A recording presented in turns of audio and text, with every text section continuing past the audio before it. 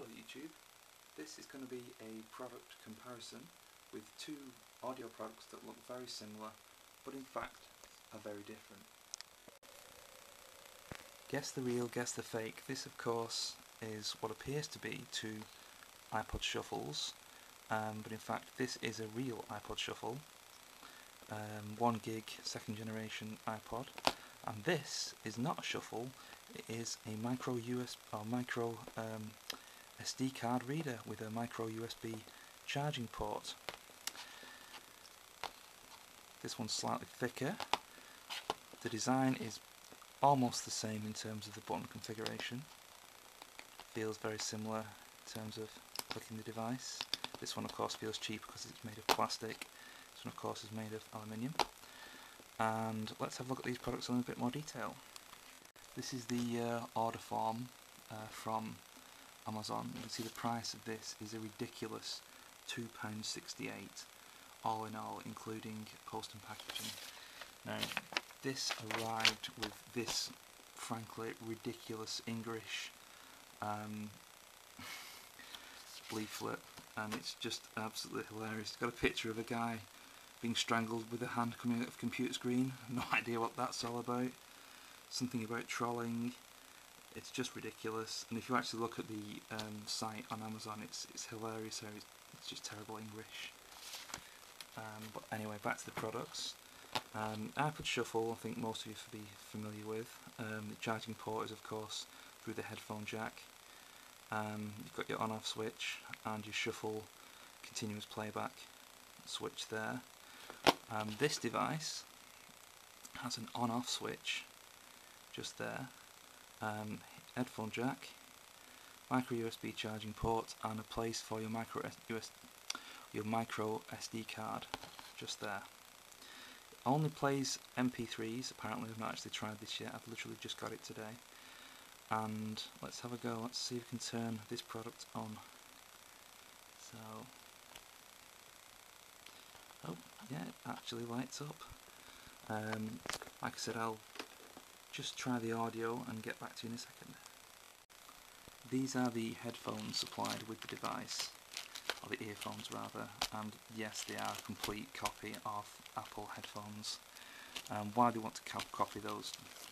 Pretty dreadful in-ear headphones that Apple supplies with its MP3 products, I'm not quite sure, but let's have a look and see what they're like. So sorry about that, I just turned the recording off to on button on the device. So let's try and slot these headphones in. And of course, let's that properly in to really force it. And of course we need a micro USB um, USB card or a micro SD card, bloody hell. Uh, just bear with one sec and I shall get one.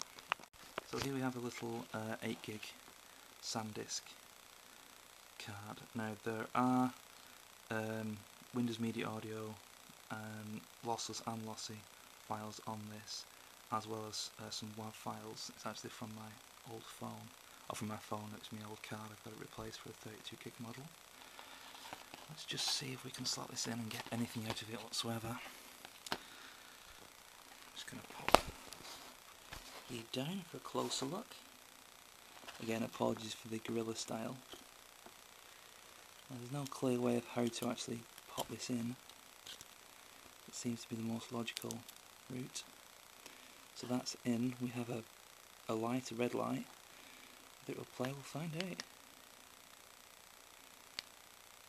and that's a no. so there's nothing coming out of the device now. It does say to actually charge up for three hours before use, and apparently you only get two hours out of it. Um, but no, there's nothing coming out of it right now.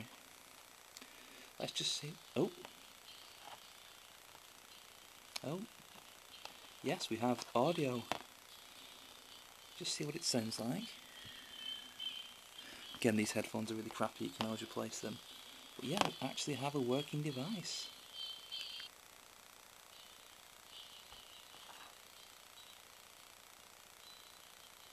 Yeah, it's a bit of Cat Stevens.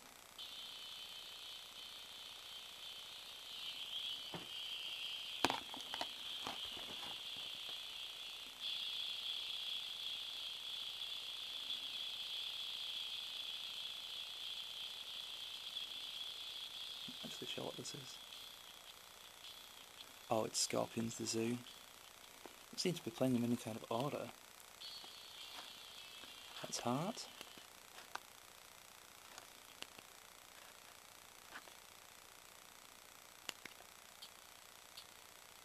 Bit more Heart. That's Giorgio Moroder.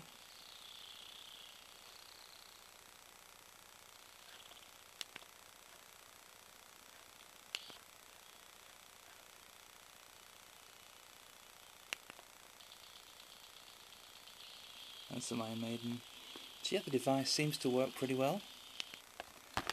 Um, again, this product, um, the brand new one, which is the 4 gig version they have now, um, was £40 when released, I think it's still £40, that's its price point. This product is £2.68, including postage and packing. Um, so there you go, pay your money, take your choice. This, of course, is a much uh, is a far superior product in terms of its design and um, its function.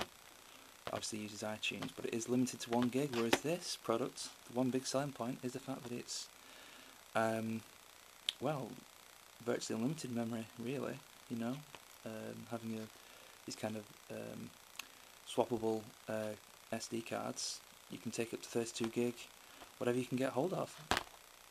Um, the one big disadvantage with this product, of course, although it looks like a shuffle, there's no shuffle function on the device, which is kind of bizarre.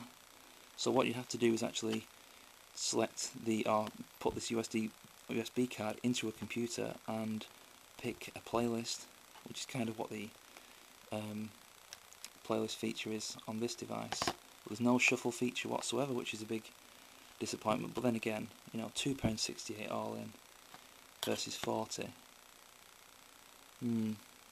It's very easy to say do the math, but I've got to say I think I'll probably still use this device simply because of the shuffle feature and its build quality and that's a really crappy plastic clip compared to this nice solid metal clip. Um, again, they both light up um, just to let you know that they're actually on. This one has this kind of horrible red LED kind of shoved behind a plastic backing and then you've got this little tiny LED light just to let you know that you switch the device on on the shuffle. But there you have it. iPod Shuffle, cheap uh, USB card or your micro SD card knockoff. You decide.